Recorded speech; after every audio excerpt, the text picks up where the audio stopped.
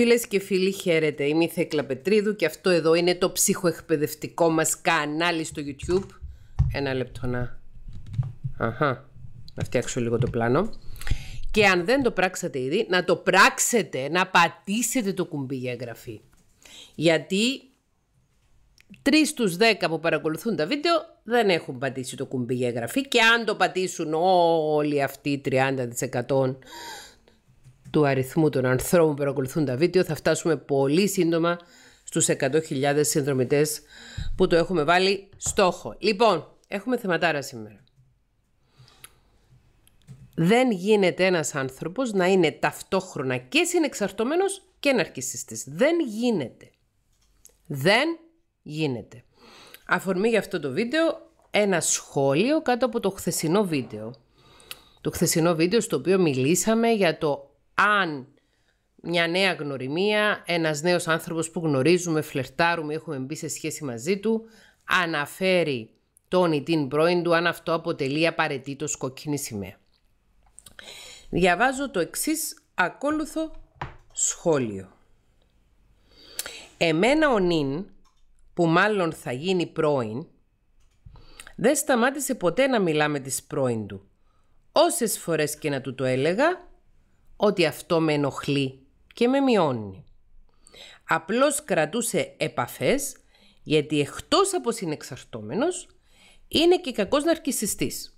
Αυτό ακριβώς το σημείο, αυτή η διατύπωση του σχολείου αποτέλεσε την αφορμή για το σημερινό βίντεο. Λέει ότι εκτός από συνεξαρτώμενος είναι και κακός ναρκισιστής. Ενώ τις κατηγορεί στα μηνύματα που ανταλλάσσουν μεταξύ τους, εκδηλώνει την αγάπη και τον πόθο για ερωτική επαφή. Πω φοβερός νυν, καταπληκτικός, υπέροχος. Της απαντάει μια άλλη φίλη και γιατί χαραμίζεις το χρόνο σου μαζί του; Πάρε τις αποφάσεις σου σύντομα. Της απαντάει η αρχική συντάκτρια του σχολείου. Της πήρα, εγκατέλειψε εδώ και τρεις μήνες. Μετά από 8 χρόνια σχέσεις και γάμου λέει. Και σχέση και γάμος 8 χρόνια. Και γράφω και εγώ από κάτω, δεν υπάρχει και συνεξαρτώμενος και ναρκισιστής, ευάλωτος ναρκισιστής υπάρχει. Ευχαριστώ πάρα πολύ τη φίλη για το σχόλιο, γιατί μου έχει δώσει τέλεια πάσα να μιλήσω για ένα θέμα το οποίο με προβληματίζει πολύ τον τελευταίο καιρό. Οι αυτοανακηρυσσόμενοι, οι αυτοανακηρυγμένοι συνεξαρτώμενοι ή αυτοί που εμείς βλέπουμε ως συνεξαρτώμενοι γιατί δεν θέλουμε να δούμε τι ναρκισάρες είναι να κάνω έτσι τώρα μια σύντομη επεξήγηση για άλλη μια φορά του τι σημαίνει ναρκισιστής, άνθρωπος με ναρκισιστικό στυλ προσωπικότητας και τι σημαίνει συνεξαρτώμενος άνθρωπος με συνεξαρτητικό στυλ συνδεσιμότητας. Λοιπόν, ναρκισιστής είναι ένας άνθρωπος ο οποίος δεν έχει καμία απολύτως ενσυναίσθηση για τα συναισθήματα των άλλων ανθρώπων. Ναρκισιστής είναι ένας τύπος που δεν γνιάζεται καθόλου για το αν στενοχωρεί, αν πληγώνει, αν προσβάλλει, αν φέρνει σε δύσκολη θέση το τέρι του, το παιδί του, το γονιό του, το φίλο του, το συνεργάτη του. Οι άνθρωποι με ναρκισιστικό στυλ προσωπικότητας είναι άνθρωποι ψυχοσυναισθηματικά ανώριμοι επειδή αυτό επέλεξαν οι ίδιοι ξανά και ξανά μεγαλώνοντας μέχρι και την ψυχοσυναισθηματική ενηλικίωση.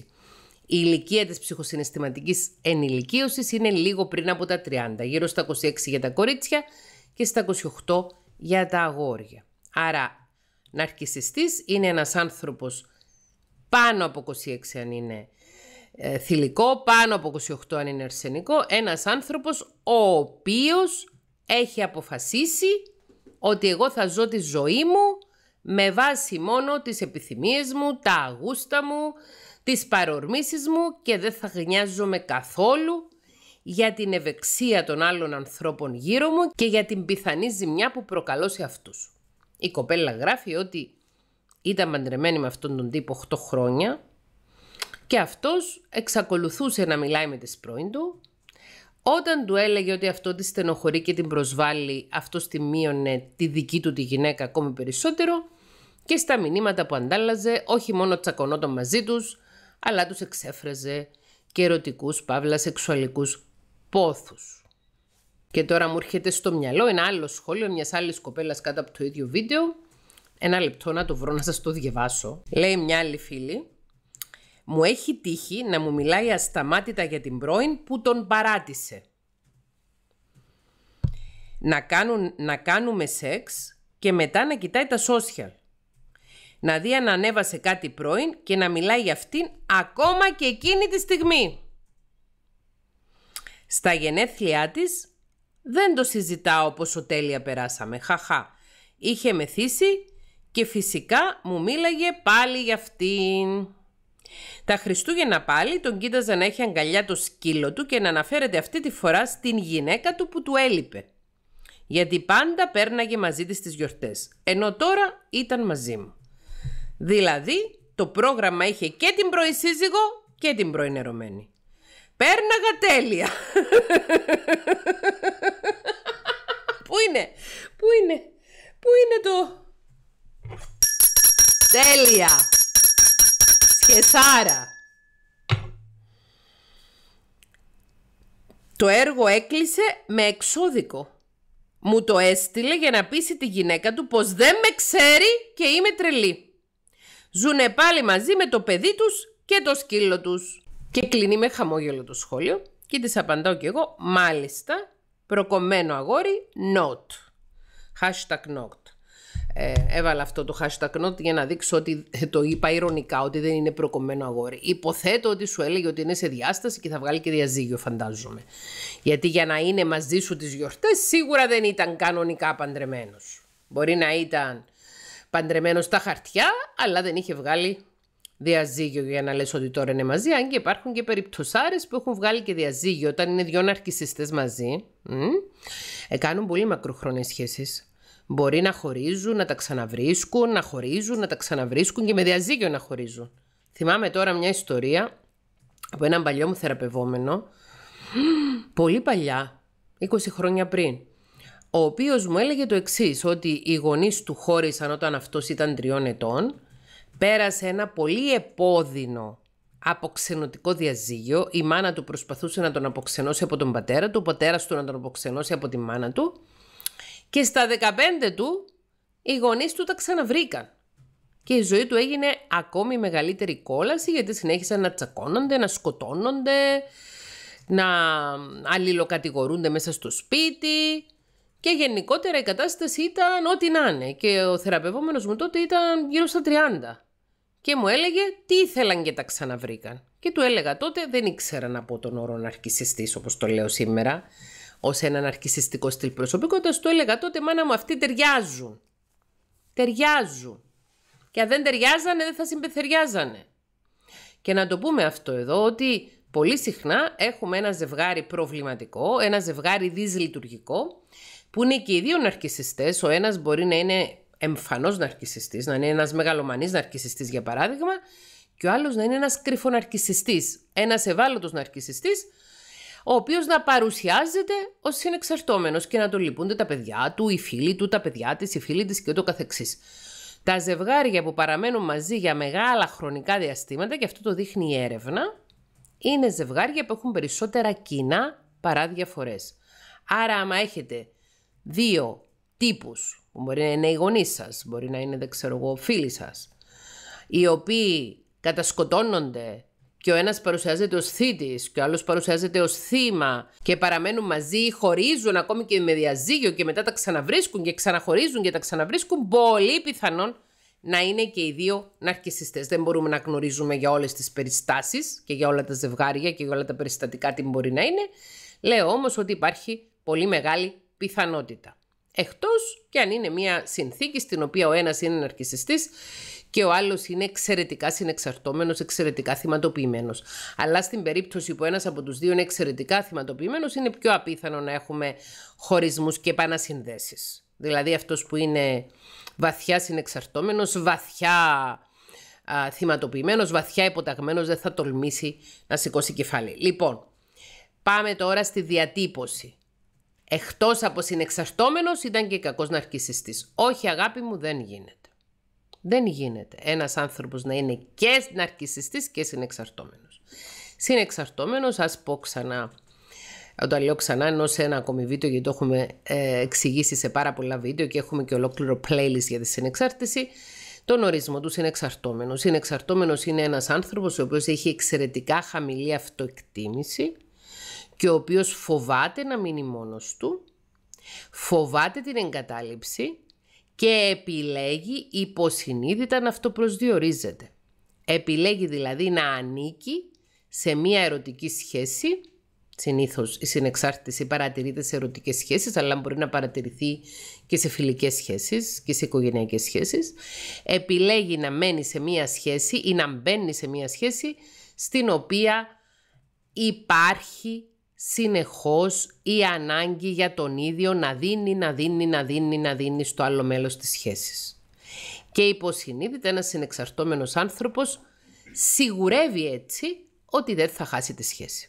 Δηλαδή οι συνεξαρτώμενοι, ξαναλέω, είναι άνθρωποι με εξαιρετικά χαμηλή αυτοεκτίμηση, φοβισμένοι, άνθρωποι οι οποίοι δεν τολμούν να πάρουν τη ζωή τους στα χέρια τους, οι συνεξαρτώμενοι, άνθρωποι που κολώνουν, ας μου επιτραπεί ο όρος, να επαναστατήσουν και παραμένουν υπόδουλοι προκειμένου να νιώθουν μια ψευδέστηση ασφάλειας.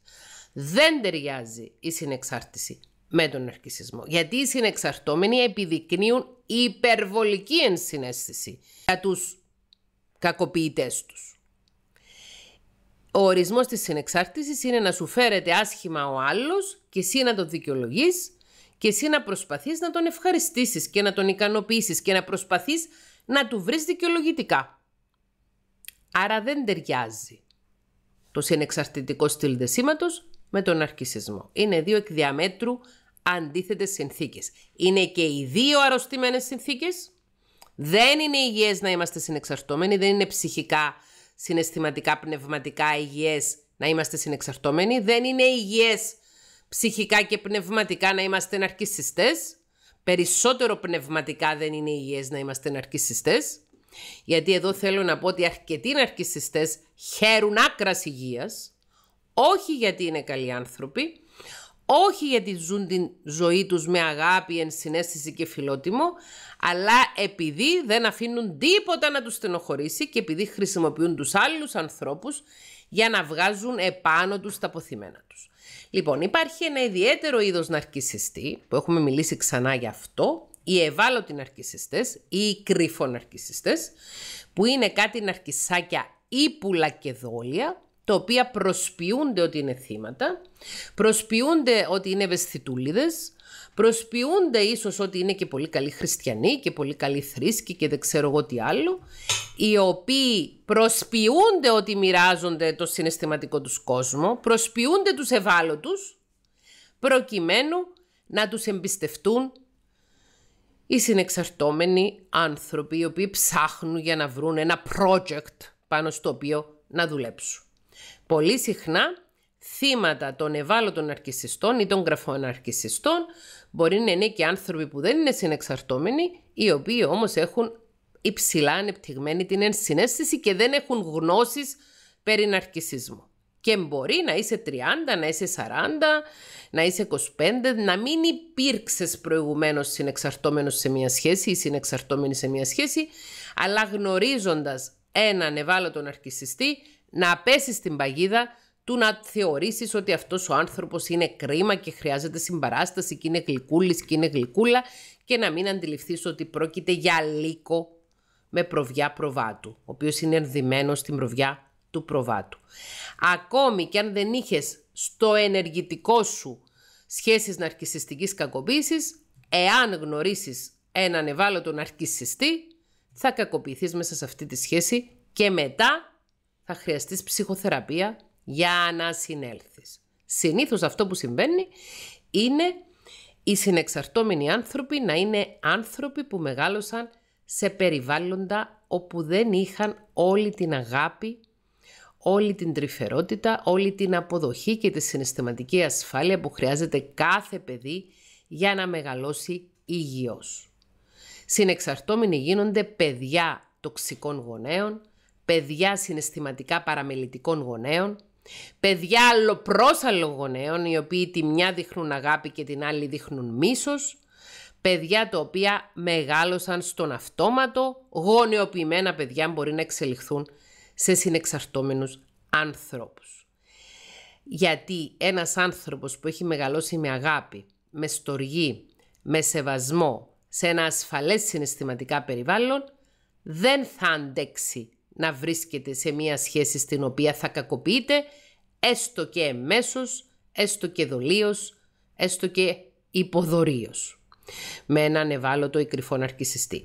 Και σε αυτό το σημείο θέλω να κλείσω λέγοντας ότι όσον αφορά στο ζήτημα που συζητούσαμε την προηγούμενη εβδομάδα, όσον αφορά στη γονεϊκότητα και το φύλλο του γονιού ή των γονιών, θέλω να πω ότι οι μελέτες της ψυχολογίας, αυτές οι οποίες μιλάνε για το ασφαλές στυλ δεσμού και τα ανασφαλή στυλ δεσμού, αυτές οι μελέτες οι οποίες βασίζονται στη θεωρία του Bowlby, τότε που έγιναν οι μελέτες αυτές, έγιναν με υποκείμενα της μελέτης μητέρες στην αρχή και όχι γονιό άλλου φίλου, χωρίς αυτό να σημαίνει ότι το φύλλο του γονιού είναι αυτό που παίζει τον πιο καθοριστικό ρόλο στο πώς θα επηρεάσει θετικά ή αρνητικά το παιδί του.